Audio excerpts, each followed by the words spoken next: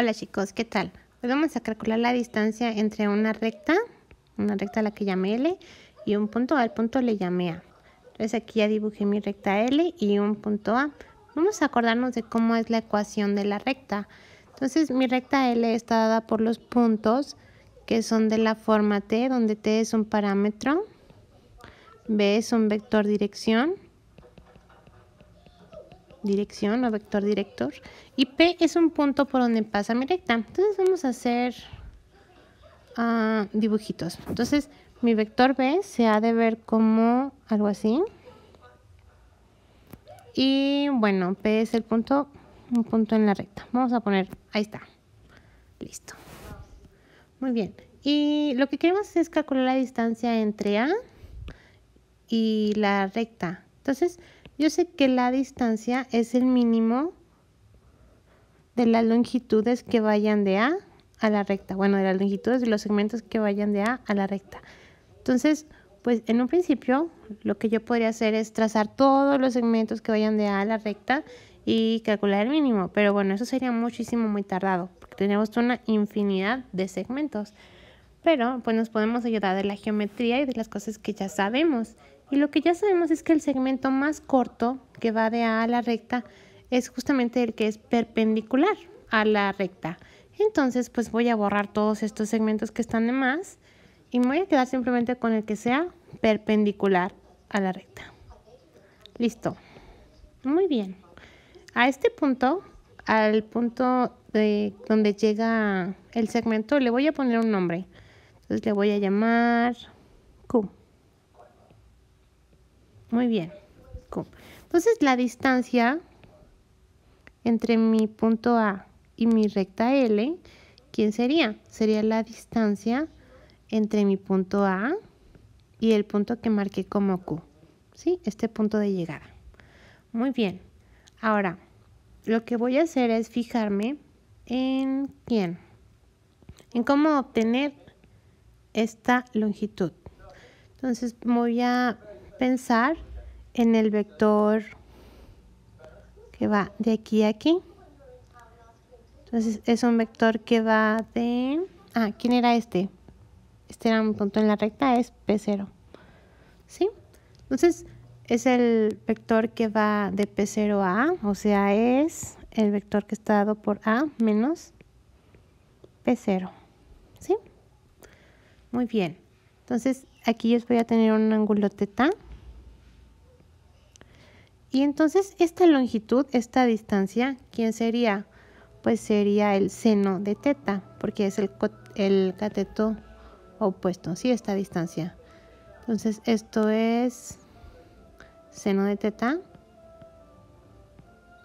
multiplicado por quién? Pues por la longitud de la hipotenusa. En este caso mi hipotenusa es este es la longitud del vector A menos P0. ¿Sí? Muy bien. Y bueno, aquí le voy a poner otro, otro valor absoluto al seno de teta, porque acuérdense que el seno puede tomar valores entre menos 1 y 1, pero yo quiero una longitud, entonces la quiero positiva. Listo. Ok, la cuestión es que, pues de pronto nos falta saber quién es el seno de teta, ¿verdad? Pero no se apuren, porque nosotros sabemos de las propiedades del producto cruz esta propiedad, ¿sí? Entonces dice que el producto cruz de dos, la longitud del producto cruz de dos vectores es el producto de las longitudes de los vectores por el seno de teta. Vaya, vaya, es como lo que tenemos aquí, ¿sí? Justamente aquí. Tenemos algo muy parecido. Aquí vamos a tener, en vez de u, en vez de nuestro vector u, vamos a tener a, a menos p0. ¿Sí? Ahora, si yo despejo esta propiedad tomando u igual a a menos p0, pues lo que me queda es justo esto de aquí abajo. ¿Sí? Muy bien. Ahora, pues yo tengo aquí el seno de teta y es lo que me está estorbando. Entonces lo voy a despejar. Estos son números reales y son diferentes de cero. ¿Por qué? pues bueno, este es diferente de cero. Si fuera cero, entonces el punto sería un punto en la recta, pues eso, la distancia sería cero, no tendría por qué estarla calculando. Y el vector v tiene que ser diferente de cero porque es mi vector dirección, ¿sí? Muy bien, entonces estos de aquí son normas de vectores que no son cero, por lo tanto son números diferentes de cero. Se va multiplicando, si puedo pasar dividiendo. Entonces cuando paso dividiendo obtengo esta ecuación. ¿Sí? El seno de teta es igual a la norma del producto cruz de A menos P0 sobre la norma de A menos P0 multiplicado por la norma de V. Entonces voy a despejar esto. Bueno, más bien voy a sustituirlo en mi ecuación aquí arriba. Entonces voy a tener que esto es igual a A menos P0. Y luego en vez del seno de teta voy a poner esto. Entonces es la norma de A menos P0, el vector, producto cruz con el vector V.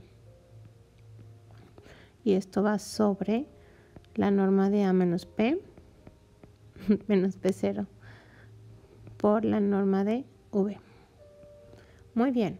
Ahora, este es un número real. Este es un número real. Ya habíamos dicho que son no cero, entonces los puedo eliminar.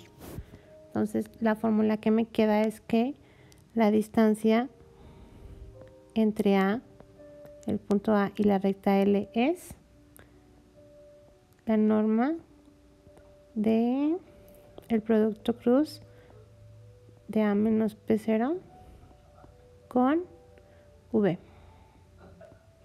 entre la norma de V. Y listo, ya dedujimos nuestra fórmula. Vamos a remarcarla para que se vea linda.